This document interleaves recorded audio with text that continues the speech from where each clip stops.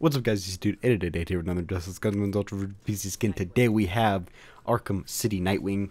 And this is not a uh, a skin that really really changes the battlefield, but it is a nice little addition to the Nightwing roster.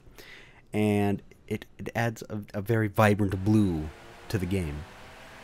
Now, of course, I like shiny things, I always say this, but uh, I think this skin does it well by adding the nice uh, I don't know what kind of blue that is. Crucilium. I'm going to make up that word, word Crucilium blue to the game. It's not as shiny as I would like it. I mean, I'd like the full-on metallic like in the game, but because we can't get this, we get this nice, nice metal uh, overlay. Now you can you can see a lot of detail in the skin because of things like the uh, the, the, nuts and bolts on his back that tie in his armor that make it all uh, you know not fall off him.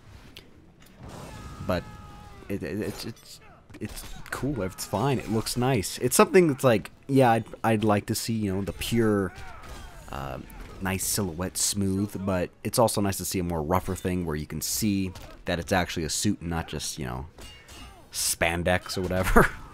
um, again, nothing, nothing too big about the skin, but it is a really nice one. Especially if you like Arkham City, who, you know, pretty sure 99% of the people did. But yeah, skins made by Capital Agony, who of course makes awesome skins.